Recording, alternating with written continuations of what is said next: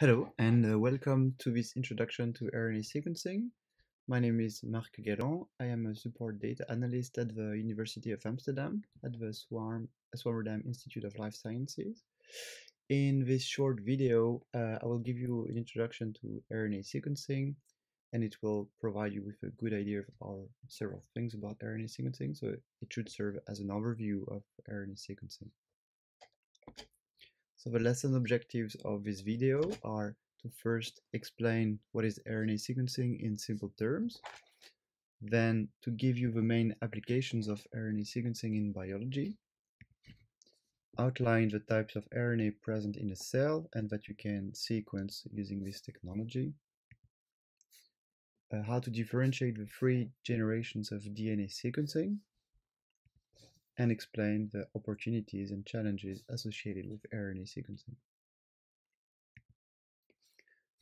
What happened in the last three decades is a post-genomic revolution era. So we first had uh, the genome sequencing of several organisms, especially eukaryotes. So since 1996 and the sequencing of the yeast genome, many eukaryotes have been sequenced. Um, so we had first C. elegans, which is a small worm, in 1998. It was quickly followed by Arabidopsis thaliana, the first plant to be sequenced in the 2000, in 2000, and uh, Homo sapiens, or the, the, human, in 2003. This, um, this sequencing made it possible to study um, the plant, the organism at several uh, at several levels, and for that we had omics technologies that came to age based on this genome sequencing. We first had transcriptomics, and this is what video is about, um, about RNA sequencing. It was also proteomics, so the study of all proteins in an organism, and metabolomics, which uh, measured met metabolites, simple or complex, in a given organism. Finally, this sequencing of genomes also made it possible to model mathematically the functioning of a whole organism since all genes, proteins, and metabolites could be predicted and held together using genome-wide models. So this is the field of modeling and in general called, this is called systems biology. But today, our interest is focused on RNA sequencing. So let's see a small definition of it. So we can give a quick definition of RNA sequencing in a twofold way. So first, um, RNA sequencing will focuses on RNA in a cell but we mainly think of RNA as messenger RNA. But in fact, uh, there's relatively little messenger RNA in a cell, and there's a huge diversity of RNA that are present in any given eukaryotic cell. So you'll have to take that into account in uh, when you think about RNA sequencing of these other small and long non-coding RNAs. Secondly, this RNA has to be sequenced. While different sequencing technologies are available, RNA sequencing mainly refers to second generation sequencing technologies that are currently being dominated by Illumina sequencing by synthesis technology. It is also important to keep in mind that DNA is sequenced rather than RNA. Indeed, RNA is turned into DNA that is then amplified before sequencing. Furthermore, only the ends of the sequencing libraries are sequenced. That's why you see often single end or paired end. More on that in uh, this video. First part of RNA sequencing consists of sequencing the RNA. But what are we talking about exactly? And why do we want to sequence RNA in the first place? When we talk about RNA-seq, we mostly use this as a short for messenger RNA sequencing. Indeed, according to the central dogma of biology, that states that a phenotype is the result of a genome expression going from DNA to messenger RNA and to protein, it will give us our phenotype. Well, in that case, mRNA can be seen as a proxy for genome activity. You probably know that the genome is transcribed into mRNA by RNA polymerase II. In eukaryotes, this happens upon promoter binding. You have start and stop codons and exon and introns uh, that are a feature of eukaryotes. This process will yield a primary transcript, also called pre-mRNA. This primary transcript will have to be spliced to get rid of introns. This happens at splice donor and splice acceptor sites. This mRNA will also have a cap, a 5' methylguanine, and a poly A tail that are both required for stabilization of this messenger RNA. Finally, upon splicing, the introns will be removed and only the exons will be kept.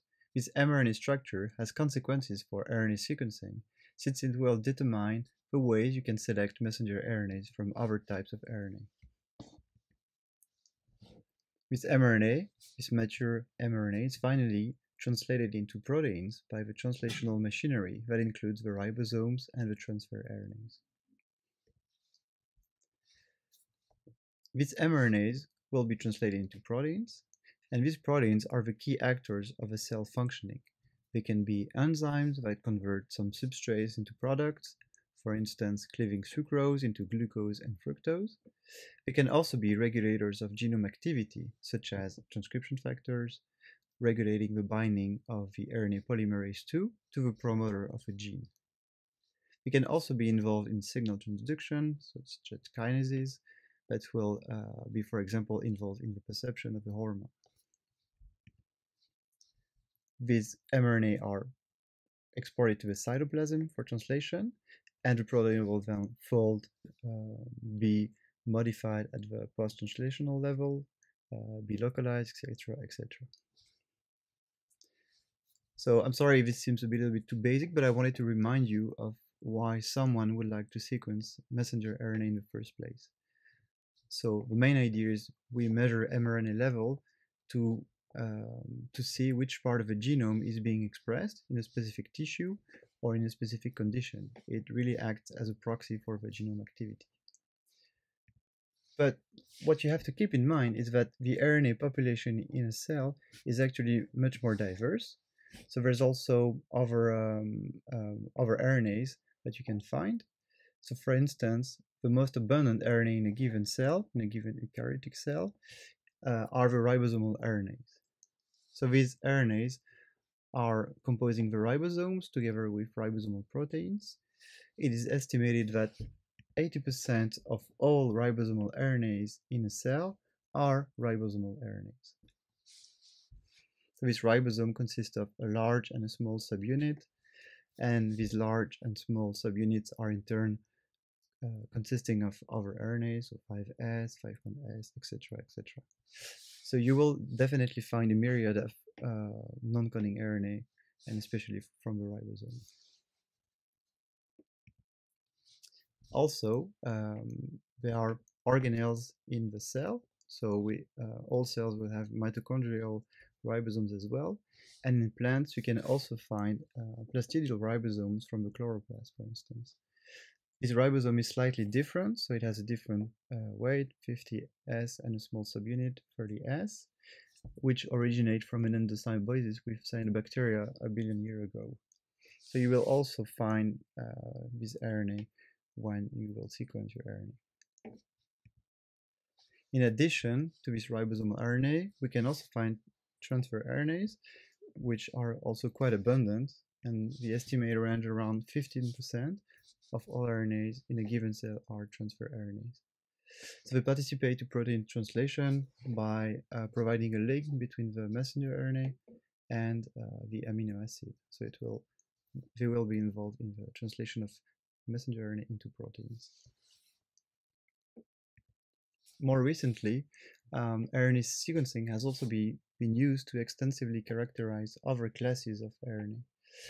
One such class is called the small non-coding RNAs, and it consists of uh, subclasses such as small nucleolar RNAs that are involved in the nucleo nucleolus. You also have small interfering RNAs and microRNAs that are involved in the regulation of gene expression. These small RNAs range between 21 24 nucleotides in length for the siRNAs and the miRNAs, and they are in the case of microRNAs, they are formed in the nucleus, but transcribed by RNA polymerase II. They then form a so-called pre-miRNA structure like a hairpin, which is then processed by dicer proteins into um, a mature microRNA and a star microRNA.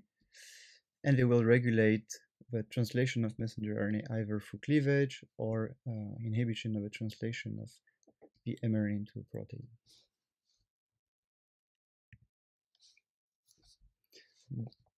Even more recently, uh, long non-coding RNA were also found. So these are longer, they range around, uh, they are longer than 200 nucleotides. They are characterized by the absence of an open reading frame, so they don't code for a protein, and they regulate the gene expression at the DNA of RNA level. So in human, these are estimated to be in the range of 10,000 of transcripts, which is half the number of protein coding genes in human, that is 20,000 genes. So they are also very abundant. It would be a little bit too long to explain all the mechanism in which long non-coding RNAs regulate gene expression, but for instance, one can find that the long non-coding RNAs can alter the translation here. We can also uh, change the splicing of the messenger RNA. Uh, that is, uh, what is the splicing here? With a spliceosome, so they will change the type of transcript being produced. Uh, they can also alter the gene expression by adding epigenetic marks on the chromatin, therefore um, changing the expression level of the gene. So all in all, uh, while most studies will focus on messenger RNA, the possibility to sequence every type of RNA in a given cell has really renewed our perception of the wide range of RNA in a given cell. So once, uh, according to the central dogma, we had this DNA into mRNA protein phenotype, so a straight line. This was simple, but probably a little bit simplistic. And now what we, uh, what the sequencing approaches have given us is a renewed vision. So we have more like spaghetti ball where we truly have a cell transcriptomic landscape composed of many different types, mRNAs, small interfering RNAs, transfer RNAs, and so on, which is of course more complex, but also more realistic. And one can now see that the gene expression is fine-tuned by a series of actors that include the ribosomes and a myriad of players. And it's definitely not straightforward anymore but it's also definitely more interesting and more realistic. So what is important for you is to isolate the right type of RNA before you do the actual sequencing. So starting from a population of cells, you will extract the total RNA uh, from the cells. You will get a collection of long non-coding RNA, etc and you will then have to decide on which of these uh, sub, on, on, which subpopulation you want to uh, you want to study. So you can you could first um, focus on the messenger RNA that are poly You would you would then perform a poly-A selection. You could perhaps be interested in messenger RNA from a bacteria which lives inside a eukaryotic host, and in that case, a messenger RNA would not be poly in such a case, you would need to perform so-called ribosomal RNA depletion to remove most of the ribosomal RNA, but keep the non-poly A-tailed messenger RNA. You can also size select your RNA to only focus on the small RNAs in your uh, population. Right. Once you have uh, the subpopulation of interest, you will convert it to complementary DNA, cDNA, and start the sequencing process. So this is what we'll see uh, after. At the sequencing technologies um, and a brief history of these and how it changed the landscape in, for the RNA sequencing. It all came historically with uh, Sanger sequencing, which was the first DNA sequencing technology. This method is based on the incorporation of specific nucleotides and the automation of the process further on. So it all starts with a template that you want to sequence and some nucleotides that are going to terminate the reaction. So these nucleotides are dideoxynucleotides. So it terminates the PCR reaction and you can then know which nucleotide, um, you can then know the end nucleotide of the sequence. So this sequence is amplified by PCR, and the um, Sanger sequencing was modified to accommodate for fluorescent nucleotides. This means that every time uh, a nucleotide is incorporated, it can be detected with a laser, a detector coupled to a computer. And this method enabled the sequencing of the template sequentially. Fluorescence intensity is uh, then detected, and the, the higher this fluorescence, the more confident you are in the nucleotide that is being detected. So this Sanger method was heavily used. The sequence is read base by base. This fluorescent intensity, as I said, is linked to the confidence in the base call. And this process was automatized in 1987 by the ABI company, and this yielded uh, around a thousand bases per day. This method was the one used to generate the first complete sequence of a human genome in 2003. This was done by two competing projects done in parallel, one by the National Institute of Health and led by James Watson, and one led by Celera, by Craig Venter at the Celera company. Overall, the cost of the human genome um, that first appeared as a draft genome in 2001 was around $300 million and the finished genome sequence in 2003 was uh, yielded an additional 150 million dollar. Uh, so in total, it costed around half a billion dollar and run through a decade, so 10 years. What came as a game changer is a technology called second generation sequencing, or more often called next generation sequencing. And this term was coined in relationship with the Sanger sequencing, that is in turn often called the first generation sequencing. So it all starts from a genomic DNA or a template DNA, can be cDNA, which you then fragment. You ligate sequencing adapters, so here in purple. You amplify them by PCR, and you then um, add them to a flow cell, where each of the each of the um, fragments with its sequencing adapter will, will be linked it will be amplified and it will then do uh, a little bridge that is then further amplified and amplified and again. So this will create clusters of sequences where each base can be called by a laser. So again, you have these fluorescent nucleotides that are being added. And at every cycle, you call a, a base um, that is incorporated sequentially. You can multiplex, so you can have multiple templates sequenced all at once. So this process that generates the cluster is called bridge amplification. Overall, this process is called sequencing by synthesis because you incorporate nucleotides base by base, which in turns reveal the sequence of, uh, of, of the initial template. This technology actually led to a sharp drop in sequencing costs.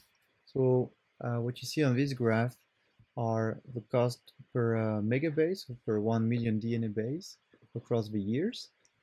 And what you see is that around 2008, there was a sharp drop in the sequencing costs. So usually people compare to um, compare the um, to Moore's law in terms of speed. So Moore's law describes the, um, the long-term trend that the uh, compute power doubles every year. So it's um, it's already fast. But this decrease in sequencing costs actually went uh, much faster than Moore's law. And that's because in 2008, the NGS technologies, the next generation sequencing technologies were introduced, which resulted in this rapid drop of the cost per megabase. In uh, regarding the human genome, which is around 2900 megabase per, um, while it costed around half a billion uh, in 20, in, 20, in 2000, early 2000s, it now costs around $1,000. So it all went from half a billion to a thousand dollar in around 20 years. And for RNA-seq, this amounts to also this also resulted in a drop in in the cost.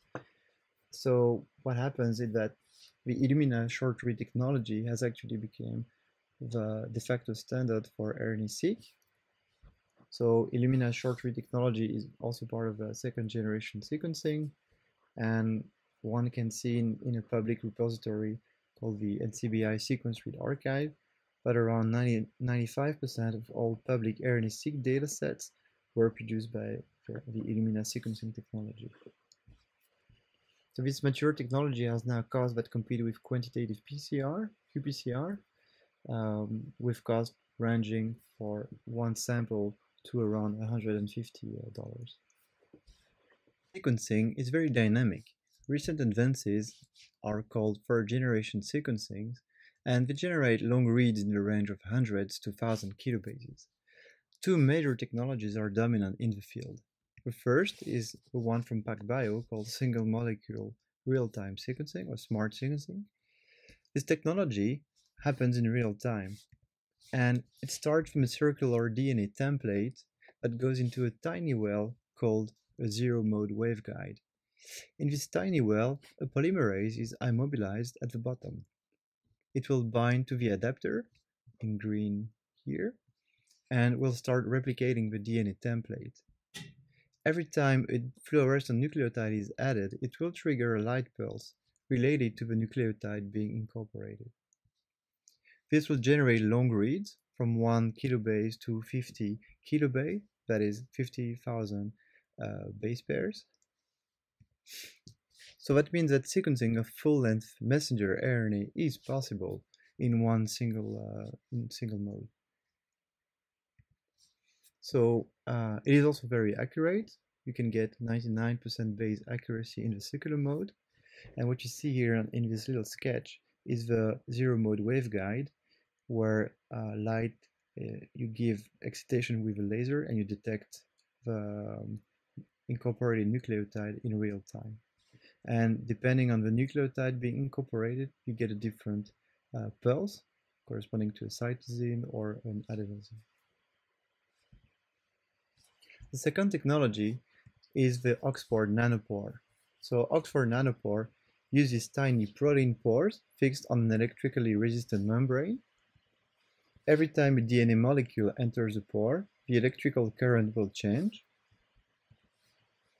So the current that uh, is detected is related to the nucleotide passing the pore at a precise moment. So here in this little sketch, you have a DNA molecule passing through the pore, and you can see that the electrical current changes and is related to the uh, nucleotide being uh, being detected. So T, C, etc. This also generates long to even very long reads. So you can go, uh, the current record is approximately 2 million base pair. You can also detect epigenetic modifications of DNA or RNA uh, without having to prepare a specific library. So you can detect epigenetic modifications of DNA, for instance, or RNA edits where um, one nucleotide is replaced by another.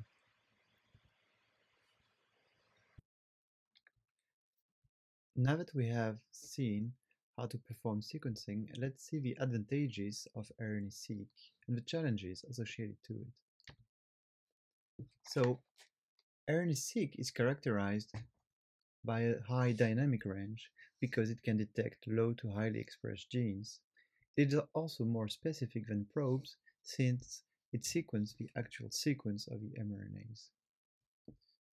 So on this graph, you can see a comparison between RNA-seq intensities and the one from microarrays, which is a technology used previously to detect genes. And what you can see is that genes from a microarray in the, in the high range, the highly expressed genes, are both well detected by RNA-seq and microarrays. But when it comes to lowly expressed genes, the intensities for the microarray are actually very much the same, whereas for RNA-seq, you can see a larger dynamic range. RNA-seq has also a big advantage, is that you don't necessarily need, a reference genome. Indeed, you can perform an RNA-seq analysis without a genome, and this is called de novo gene assembly. For instance, you can use a software called Trinity to do that, that assembles uh, RNA-seq reads into contigs, clusters, and transcripts. The Trinity software starts with RNA-seq reads, put them into contigs through a process called inchworm, cluster these contigs into components, into clusters, and then we'll assemble the reads into transcript isoforms. And this can be useful to detect, for example, alternative splicing. You can also use RNA-seq to refine a genome annotation. Indeed, third-generation sequencing produces long reads that can improve genome annotation even from well-characterized model species such as Arabidopsis. In a recent paper, they compared two annotations from Arabidopsis, the previous one called TAIR10 with a new one called Araport11. And even for well-characterized genes, one can see that many splicing variants can be discovered with UTRs, exons, and introns arranged in different ways. Of course, there are also challenges associated with RNA-seq. While the cost was initially too high, they have become much cheaper, but still amounts to several thousand euros. But the cost of RNA-seq is decreasing, while the data output that you get from an experiment is increasing, especially in terms of number and length of reads. Perhaps one of the challenges is the amount of data generated from one single RNA-seq experiment. It can quickly sum up to dozens of gig gigabytes. Also, this data cannot be directly used, but rather has to be converted, quality checked, etc. This relates to the last and perhaps most important challenge. Uh, specific skills are required for RNA-seq data analysis, in particular uh, in bioinformatics, to go from a sequencing file in FASTQ format to a matrix of gene counts as a CSV format. Also, one needs to learn some statistical and programming skills to be able to perform the post-bioinformatics steps. For example, to perform differential expression or explore the gene counts, convert um, gene identifiers with databases, etc., etc. Let's now see the applications of RNA-seq in the life sciences. Now that we have a clear idea of what is RNA sequencing, its advantages and challenges, let's see how it can be applied in biology. A big part of the interest in RNA-seq um, deals with gene functions inside the cell. This domain is called functional genomics. So for example, you can ask what is a particular gene involved in. It can be involved in signal transduction, the enzymatic conversion of a metabolite, and one method to assign a function to a gene is to study its regulation in response to a particular treatment, such as an external hormone applied in the growth medium, for instance. One can also mutate a gene and monitor the mutation effect on other genes. Similarly to a detective, a gene affected by a treatment compared to a control condition is likely to be involved in the adaptation of the cell to the treatment. Another important use case of RNA-seq is the ability to find marker genes related to a specific tissue or developmental stage. The transcriptome is dynamic over time and space, and not all genes are expressed at the same time. This provides the organism with a collection of genes co-expressed in time and space, and there are nowadays numerous online resources based on multiple RNA-seq experiments that offer an easy way to access to this knowledge. We will see an example based on human.' Finally, while genome sequences piled up rapidly, half of the battle is to annotate genes to provide a catalog of genes. They're structured, 5' UTRs, introns, exons, etc. And RNA-seq has become essential in the process of genome annotation even for well-annotated model species. One example of an RNA-seq application for functional genomics is provided here. It deals with a response of yeast cells exposed to different concentrations of acetic acid in their culture medium. When a culture of yeast cells is exposed to acetic acid, the number of yeast cells gradually decrease, as it can be seen on this graph. So the acetic acid will decrease the yeast cell viability. Furthermore, acetic acid also affect the cell membrane. Here we have a control condition. Here we have uh, the membranes after 45 minutes of exposure to acetic acid or 120 minutes after exposition. And it will sort of shamble the yeast cell membrane. So the question becomes, what are the biological processes triggered by acetic acid in these yeast cells. In particular, a researcher might be interested to find the genes that are responding to this um, chemical in the medium. So you can think about an experiment, an RNA-seq experiment to discover these genes. So let's see two conditions, the control and uh, after 45 minutes of exposure to acetic acid, the yeast cells will be collected. The total RNA will be isolated. The poly-A um, only the messenger RNA will be purified, fragmented, reverse transcribed to cDNA. Sequencing adapters will then be added to the cDNAs, amplified by PCR, and subjected to RNA sequencing. This will yield reads, let's say short reads of, for instance, 100 nucleotide. This information will be processed by bioinformatics. This will give, um, and this will give a list, um, sorry, this gene expression, gene expression will be evaluated by counting how many reads will align to genes and differential genes will be called. So this workflow is the canonical workflow and the most frequent you will find Uh, online or in publications. So this process will yield a list of genes that are affected in relation to the biological treatment. From all these genes, a statistical test is performed on each of them and a volcano plot can be, can be created. So this plot is called a volcano plot due to its shape. It looks like a volcano eruption. And here we have the comparison between 45 minutes of treatment with acetic acid versus the control condition. We have genes on the right, genes on the left. So the genes on the right will have a positive log2 fold change. So these genes will be upregulated in response to acetic acid. On the other hand, genes on the left-hand side will have a negative log2 fold change, which means they are downregulated by acetic acid. On the y-axis, we have the, p the adjusted p-value plotted on an inverted log 10 scale so that p-values which range from uh, 1 to very small are plotted on a positive scale from 0 to 15 here. So on, a, on, on the scale you can read. So given a selected log2 fold change threshold of, for instance, 2, you can you can find differential genes. So here in the study, 893 genes were coined differentially expressed genes based on a fold change threshold of 2, so that can be plus 2 or minus 2, and an adjusted p-value threshold uh, lower than 0.05.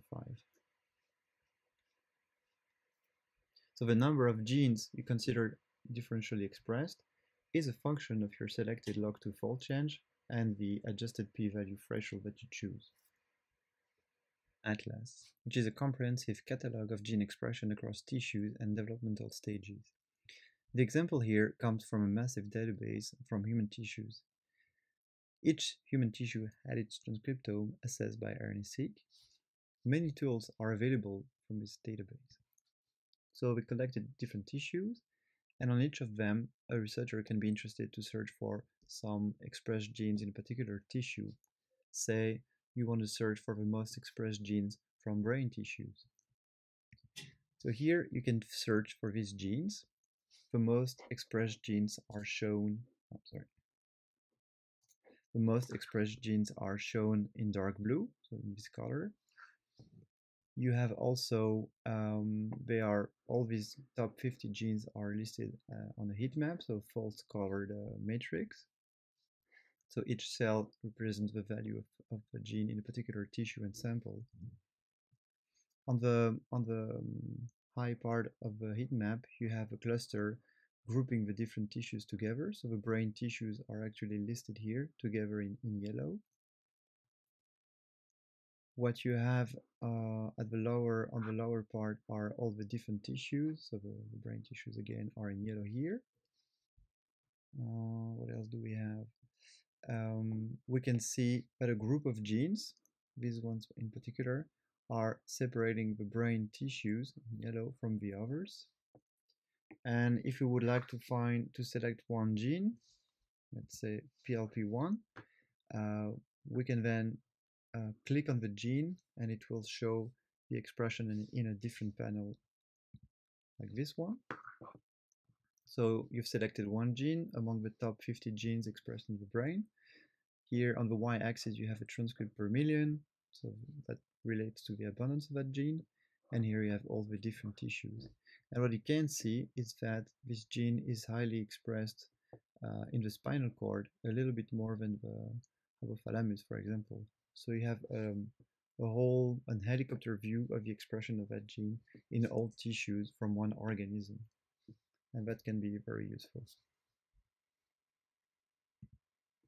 What you also find in this database is that you can also visualize the expression of individual transcript isoforms, potentially showing which exons are more expressed in a particular tissue. So here you, you see that the seven last exons of, uh, of this gene are actually the most expressed in the brain tissues. Because sometimes some splicing isoforms will be more expressed than others depending on the tissue and time and etc. And that can also be uh, useful to, uh, to see. This sort of expression database are not restricted to human, of course, and you can find it in different organisms. In this example, um, you can see the ePlant resource that contains data from the model plant Arabidopsis. So you can search for your favorite gene, let's say ABI3, which has a gene number, which then you can see the, um, the expression of the gene in relation to the plant genotype, the developmental stage, the, the, tissues during development, uh, also the cell localization, and you also have other um, types of information, so the location of the gene on the chromosome, the folding of a protein, etc. So it's a very comprehensive resource when you want to study a gene of interest. Thank you. I've listed a few key references uh, related to RNA-seq that you can find here. I'll put the links also at the bottom of the video so you can uh, follow the links. Thank you for your attention.